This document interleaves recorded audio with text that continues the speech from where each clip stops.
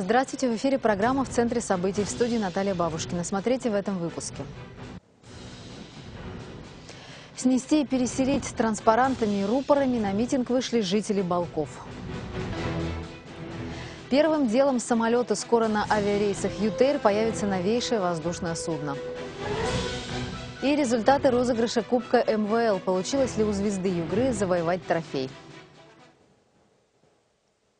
Правительство России увеличило размер субсидий на переселение из аварийного жилья. Порядка 34 миллиардов рублей дополнительно направят в фонд реформирования ЖКХ. Благодаря этим средствам, рассчитанным до 2017 года, регионам не придется пересматривать свои программы по переселению. Постановление опубликовано сегодня на сайте правительства. Снести и переселить в субботу у здания городской администрации на митинг собрались жители Балков. Демонстрацию власти санкционировали. Правда, организаторы заявляли от 100 до 300 участников. Вышли же с транспарантами намного меньше. Собравшиеся просили прокуратуру Югры провести проверку расходования бюджетных средств, которые предназначены на переселение людей из ветхого жилья. Также митингующие обратились к губернатору региона Наталье Комаровой и депутатам всех уровней, чтобы те взяли под контроль проблему сноса Балков. Администрация услышит нас. Ну сколько можно, в общем? Я не знаю. Мы обращались и к Комаровой. И э, писала письмо я Путину, Медведеву, вернее, тогда, президенту нашему. Вот. Ответ был э, «решайте на месте». На месте. Администрация на месте не решает. Не решает. И мы просто вот вынуждены выходить уже, видимо, опять на Путина Владимира Владимировича. Стоит добавить и то, что многие пришедшие на митинг жителями Балков не являлись. Нашему корреспонденту они представлялись сочувствовавшими. Между тем, в бюджете округа на переселение людей из Балков в этом году средств не запланировано. Впрочем, администрация ведет плотную работу с застройщиками, которые могут покупать людям квартиры за свой счет, а затем возводить здания на земельном участке.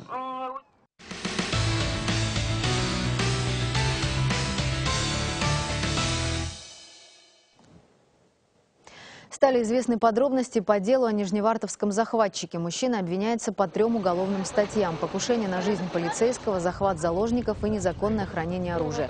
Напомню, инцидент произошел 7 мая. При проверке документов 38-летний уроженец Республики Дагестан ранил сотрудника вневедомственной охраны в грудь и скрылся в соседнем доме. Там злоумышленник взял в заложники семью из четырех человек. Ближе к ночи мужчина сам сдался силовикам.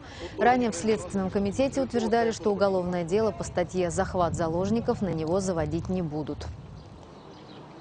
Заложники не пострадали, он добровольно сдался сотрудникам полиции. В связи с тем, что у нас статья 206 гласит, э, что в случае добровольной сдачи э, сотрудникам полиции и в случае подчинения их требованиям, сейчас расскажу, лицо добровольно или по требованию властей, освободивших заложников, освобождается от уголовной ответственности по настоящей статье. ЧП на воде трое рыбаков перевернулись на лодке в районе Юганской Аби. Спасатели обнаружили плавательное средство, а вот поиски людей до сих пор продолжаются.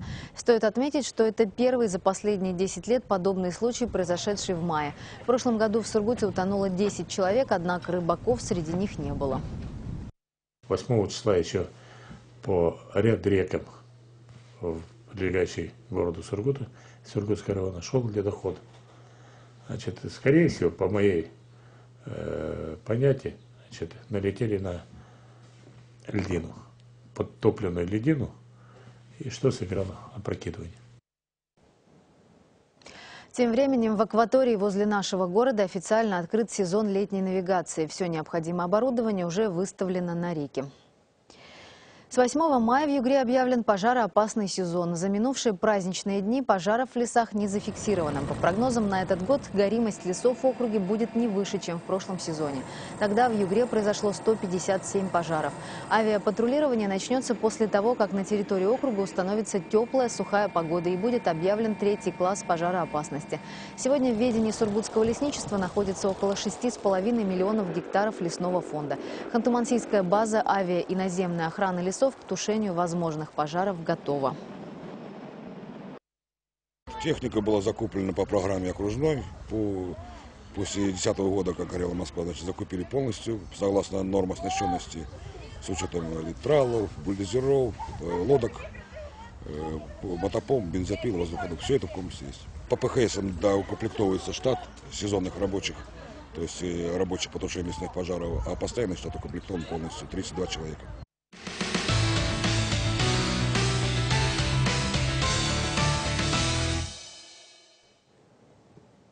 В Сургуте отметили День Победы. О том, как это было, читайте в свежем выпуске еженедельника в Центре событий. Кроме того, вы узнаете, как остановить поток мигрантов в Сургут, зачем составлять договор с управляющей компанией, какие успехи у худеющей группы здоровых оптимистов и в чем секрет сборной России по хоккею. Новый выпуск в Центре событий ищите в торговых точках города уже сегодня. Первый пошел авиакомпания «ЮТР» готовится пополнить свой воздушный флот новейшим отечественным самолетом «Сухой Суперджет-100». Борт один из шести, который поступит в распоряжение в этом году одному из крупнейших авиаперевозчиков России. О секретах строительства воздушного лайнера Рамиль Нуриев. Более 600 тысяч заклепок, гаек, болтов и других мелких деталей, которые требуются для соединительного крепежа. Свыше 80 километров проводов, огромное количество комплектующих. Все это и многое другое требуется, чтобы собрать новейший самолет «Сухой Суперджет-100». Производство воздушных судов и их окончательную сборку осуществляет Комсомольский на Амуре филиал компании «Гражданские самолеты Сухого». И все начинается с цеха сборки фюзеляжа. Так называемые бочки водружаются на специальный стенд и работа закипает. На этом стенде э, очень современное, высокотехнологичное и высокоточное оборудование. Значит, осуществляется технологическая операция стыковки отсеков. Здесь отсеки э, ориентируются в необходимое для стыковки положение с высокой точностью, сводятся, после чего производятся операции по установке крепежа по стыкам необходимых деталей, формируется силовой набор. И только после этого фюзеляж перемещается в святая святых – цех окончательной сборки. Именно здесь ему придают форму будущего самолета, и именно отсюда он выйдет на свой первый полет. Правда, до этого момента должно пройти немало времени. Каждый борт, а и здесь одновременно помещается шесть, требует внимательной проработки. Здесь производится стыковка с крылом и окончательная сборка самолета. После этого процесса он готов э, к выполнению летных испытаний. В цехе 6 рабочих мест, 6 платформ, 6 производственных участков. На каждом из них выполняется тот объем, который характерен только для этого участка. Ежегодно Комсомольский на Амуре, филиал компании «Гражданские самолеты Сухого», наращивает производство без потери качества. А уже в этом году с завода планируют выпустить порядка 40 воздушных судов, а дальше только больше. Для того, чтобы увеличивать производственные мощности, для того, чтобы увеличивать количество выпуска самолетов, э, это не бывает просто так. То есть необходимо предпринимать очень много принимать мероприятий, э, которые приводят к сокращению тактов выпуска самолетов. Так мы в этом году планируем э, в скором времени перейти на такт сборки 7 дней, для того, чтобы обеспечить производственный план в целом производства самолетов по году. Интерес к суперджетам проявляют не только в России, но и за ее пределами. К примеру, заказ на производство воздушных судов уже прислали из Латинской Америки. А в июне свой первый лайнер «Сухой Суперджет-100», произведенный в Комсомольске-на-Амуре, получит компания «ЮТР». Он станет одним из шести самолетов, которые в перспективе пополнят воздушный флот одного из крупнейших авиаперевозчиков страны в этом году. Он абсолютно идеально подходит для э, рейсов протяженностью 2-2,5 часа. Его вместимость 103 кресла, это вместимость аналогичная самолету Ту-134. А, Боинги 114, 26 и больше мест на этих рейсах слишком большие, да, то есть мы возим воздух, что экономически неэффективно и плохо отражается на стоимости билетов. К слову о стоимости билетов. В компании «ЮТР» говорят, обновление воздушного флота вполне может привести к снижению цен на перелеты. Лайнеры, которые поступают с заводов, менее затратны в обслуживании. Их эксплуатация вполне экономически целесообразна. Выигрывают от этого в конечном счете и перевозчик, и пассажир. Несомненно, использование новых самолетов э, приводит к снижению цен на билеты. Сказать точную сумму да, или процент, на который снизится стоимость билета, сейчас, конечно, тяжело, потому что это будет зависеть, в общем-то, там, от э, спроса, от маршрута и так далее. Но практика показывает, что большинство лоукост компаний мира используют новые самолеты. Пока этот самолет зеленый в прямом и переносном смысле слова. Несмотря на то, что все производственные процессы завершены, впереди еще множество испытаний и, конечно же, ряд тестовых полетов. И только после этого его примут воздушный флот. Новая эра российской гражданской авиации только начинает развиваться. И судя по тому, как это происходит, будущее у нее есть. Рамиль Нуриев, Сергей Колотов, Сургут Интерновости. Неоценимый подвиг. В Сургуте прошел парад Победы и митинг памяти погибших в Великой Отечественной войне. 9 мая, несмотря на холодную погоду, на улице вышли тысячи сургутян. В торжественном марше приняли участие более 400 человек. Это расчеты УФСИН, три подразделения УМВД, лицеи полиции и МЧС, военно-патриотические отряды. Возглавили парад бойцы спецназа «Север». К мемориалу памяти у Вечного огня горожане возложили цветы и венки. Поздравили жителей с праздником первые лица Сургута и представители ветеранских организаций авиации. Впервые на День Победы в небе над Мемориалом Славы взмыли самолеты местного авиаклуба. Завершилось празднование 9 мая салютом на площади перед театром Сургу. Я считаю, что парад получился. Вот это начало мероприятий сегодняшних, посвященных Дню Победы, оно достаточно торжественное и волнительное получилось. А в этом параде принимали участие представители силовых структур, а самое главное, наши молодежные военно-патриотические объединения. Это значит о том, что будущее у нас есть. Также в День Победы прошла масштабная молодежная акция «Живая цепь». Порядка тысячи сургутских студентов в знак памяти о погибших в Великой Отечественной войне встали, держась за руки от главного корпуса Сургут до мемориала славы. На обелиске молодежь возложила 690 гвоздик. Это 9 мая. Ну, такое одно из испытаний, наверное, для молодежи да, с, с такой погодой, потому что очень холодно. Передача цветов на э, мемориал славы города Сургута от э, памятника Кирилла и Мефодия, символизирующего образование. И здесь собралась молодежь всего города. Это школьники, студенты, э, различные учащиеся. А вот на другой молодежной акции, к сожалению, нужного количества человек не набралось. 9 мая Сургут впервые присоединился к международному мероприятию «Рекорд Победы». Изначально планировалось, что 100 студентов Сургутского профессионального колледжа отожмутся 25 203 раза за каждый мирный день после окончания Великой Отечественной войны. Однако из-за холодной погоды участие в акции приняли только 40 человек. Им вместе удалось сделать примерно 7 тысяч отжиманий. Но на будущий год студенты твердо решили взять взять планку? Это память. Мы, наши дедушки, прадедушки, они сражались, они столько сил потратили. Неужели мы не можем в знак памяти просто отжаться каждый по несколько раз? Ежегодно 12 мая во всем мире отмечают День медицинской сестры. Хороший повод еще раз поблагодарить и поздравить представительниц одной из самых гуманных профессий. Вот уже более 15 лет операционная медсестра Екатерина Тумирбулатова работает в кардиологическом центре. Говорит, в этой профессии случайных людей нет. И сама пришла в медицину по зову сердца. Профессию я выбрала. Э, в детстве, конечно же, играла в больничке, как и многие дети, девочки, наверное, в частности. А уже будучи постарше, хотелось быть нужной и делать добро. За годы работы, как отмечает сама Екатерина, профессия стала образом жизни. Коллектив, который по праву можно считать бессменным, стал семьей. В этой работе главное доверие и честность. Коллеги хвалят, говорят, энтузиазма и жизнелюбия у нее не занимать. В работе профессионал с большой буквы и как друг, всегда готова протянуть руку помощи. С Катей мы работаем 8 лет, с тех пор, как я пришла работать сюда, в этот кардиодиспансер, перевелась. Вот, и на протяжении всего времени, что здесь работаю, мы работаем в одном коллективе с ней. Вот. Ну, в принципе, человек, она очень надежный, ответственный, с которым можно идти в разведку. Работать на совести и брать на себя ответственность может далеко не каждый. О том, в чем сложность профессии медицинской сестры, рассказала наставник Екатерины Тимирбулатовой Наталья Васильевна. Быть не настоящей здесь не получится.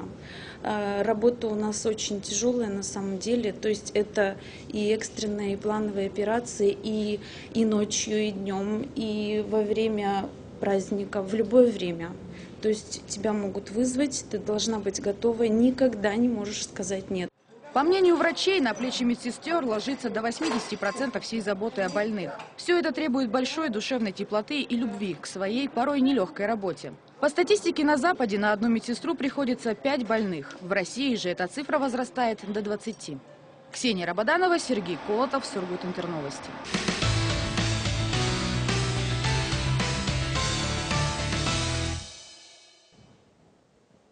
Всю минувшую неделю на паркете премьер-арены молодежные волейбольные команды бились за кубок МВЛ. В турнире приняли участие 8 команд. Сургутская звезда Югры, не уступив ни одного матча в групповом этапе, вышла в финал. Получилось ли у наших волейболистов завоевать кубок молодежной лиги и кто стал самым ценным игроком розыгрыша, знает Дарья Давыдова. Волейбольные выходные принесли радость всем болельщикам молодежной команды «Звезда Югры». Без проблем обыграв на стадии 1-4 действующего обладателя Кубка с дюшор «Локомотив» со счетом 3-0, в полуфинале сургутяне встречались со столичной «Динамо Викторией». Этой команде «Звезда Югры» еще в групповом этапе уступила всего один сет. Впрочем, прошлых ошибок повторять не стали и быстро и качественно обыграли москвичей в полуфинале. Завтра будет вообще очень тяжело, это финал, а финал никогда легким не бывает. Нет разницы, какой соперник, надо выходить и побеждать. А соперником звезды Югры в финале стал казанский «Зенит УОР». Безусловно, этой молодежной команде, пусть и не ставшей лидером чемпионата МВЛ, хотелось взять кубок, дабы не уступать прославленной основной команде. Впрочем, желание не занимать было и нашим волейболистам. Проблемно и волнительно начав матч, но все же взяв первую партию с разгромным счетом 25-16, сургутяне буквально разрывали соперника. «Зенит» как мог цеплялся за счет, который все же неумолимо рос в сторону звезды Югры. Шесть эйсов еще больше убедили казанцев, что хозяева площадки не лыком шиты. Не помог сопернику и действующий чемпион России в Суперлиге Виктор Полетаев. Его результативность вообще была далека от идеала – всего 35%. У нас были проблемы с приемом, мы не могли добить э, доигровку. И все это как-то, мы, может, до очков 18 шли на равных, а потом проигрывали концовку. Обыграв «Зенит Ор» с сухим счетом 3-0, звезда Югры завоевала Кубок молодежной лиги. Впервые за всю историю розыгрыша трофея. Тренер сказал, что самый, самый важный день в нашей жизни – это сегодня. Мы либо в шоколаде, либо нигде. Вышли, настроились уже, хватит им побеждать, нам тоже иногда Хотелось бы отметить игру ребят, которые все-таки э, очень плохо начали. И первую игру, и первую партию сегодня. Очень много ошибались. Очень много волновались, но все-таки смогли сыграть дисциплинированно, смогли выполнить установку. Лучшим подающим Кубка молодежной лиги признали Леонида Щудилова. Лучшим блокирующим стал Сергей Ершов. Позицию лучшего связующего занял Борис Фирсов. Игрок MVP турнира Александр Гончаров. Дарья Давыдова, Сергей Коликов, Сургут Интерновости. Пока молодежная команда празднует победу, в «Газпром-Югре» начались кадровые перестановки. Пост главного тренера покинул Вадим Хамутских. Он ушел из клуба сразу после игрового сезона. Однако уже известно, кто займет его место. Новым главным тренером назначен Борис Гребенников, работавший во французском Ренне.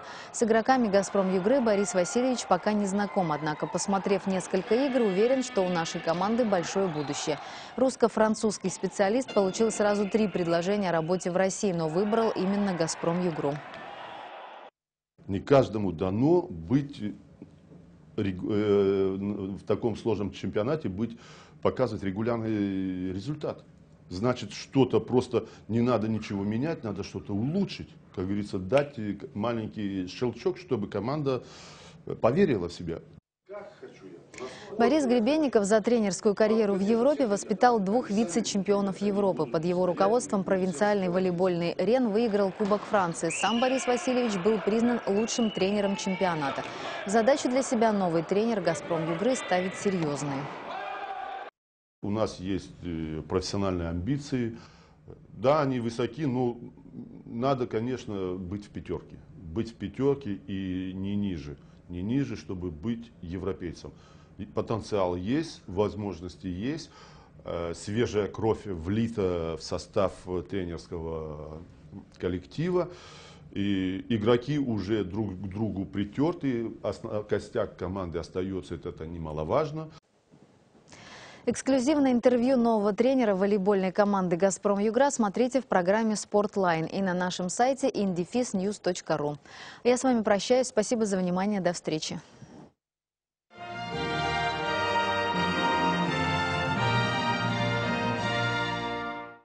Вам нужен контейнер? Не знаете, на чем перевести домашние вещи? Специалисты компании «Югровоз» всегда рады оказать профессиональную помощь в организации грузоперевозок, в том числе и ваших домашних вещей со скидкой 50%. Звоните 61 40 30. С 16 мая на площади ТРЦ «Аура» развернет свой шатер большой московский цирк «Шапито» «Арена Ягуар». Срочно подать объявление? Легко. Просто позвоните 22 22 44. Газета бесплатных объявлений «Ярмарка» 22 22 44. В связи с закрытием салона обуви Терволинии весь май скидки 50% на все. Торгово-развлекательный центр «Союз», второй этаж, салон обуви Терволинии.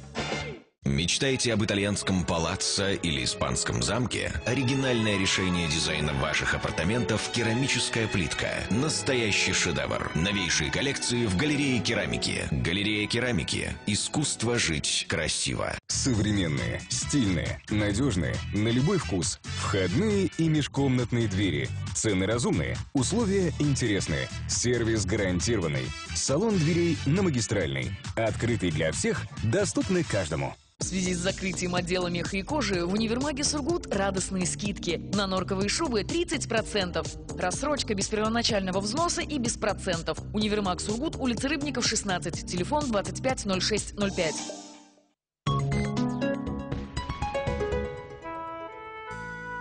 И о погоде на 13 мая. Здравствуйте! В студии Наталья Яркова. Генеральный спонсор прогноза погоды – компания «Декалюкс». Компания Декалюкс предлагает автоматические секционные ворота, защитная роль ставни, турникеты, шлагбаумы, автоматические распашные откатные ворота и жалюзи. Декалюкс. Надежная защита вашего имущества. Телефон 26 27 72. В рамках акции «Ворота для комфорта» компания «Декалюкс» предлагает большой выбор автоматических ворот в наличии на складе в Сургуте по очень привлекательным ценам. Во вторник через Приобье пройдет североатлантический циклон, сопровождаемый полями дождевых облаков. Ночью регион окажется в теплом секторе циклона, а днем начнет прорываться холодный атмосферный фронт. Только в западной части Югры скажется среднеазиатский антициклон и постепенно распогодится. Ночью в Сургуте и окрестностях облачно, с прояснениями. Возможен кратковременный дождь. Ветер западный 4,9 метров в секунду. Температура воздуха плюс 9, плюс 12. Утром местами возможен небольшой дождь. На столбиках термометров около 13 градусов тепла. Днем переменная облачность, без существенных осадков. Направление ветра северо-западное 4,9 метров в секунду. Температура плюс 12, плюс 17. Новая коллекция «Весна-лето 2014» для мужчин и дам в сети салонов обуви «Саламандр». «Саламандр» – качественная обувь по доступным ценам. Спонсор прогноза погоды – сеть салонов обуви «Саламандр». В течение дня солнечная активность умеренная, геомагнитное поле спокойное. Атмосферное давление составит 756 миллиметров ртутного столба. Самые яркие краски весны и лета в коллекциях одежды для девочек и мальчиков в сети магазинов «Карапуз». Ужасно модно, стильно и удобно. Для активных малышей бассейны, горки, велосипеды, самокаты, электромобили. Огромный выбор в сети магазинов «Карапуз». Отдых, спорт и дача «Карапуз» решит задачу. Фабрика комфорта. Воплощение качества, профессионализма, красоты и удобства. Шкафы-купе, гардеробные, кухни детские. Экологически чистые материалы и новейшие технологии. Модные расцветки и фактуры. Десятилетний опыт собственного производства. И, пожалуй, самые выгодные условия покупки. Только до 15 мая скидка на услуги 50%. Я желаю вам всего самого доброго. Будьте здоровы. До свидания.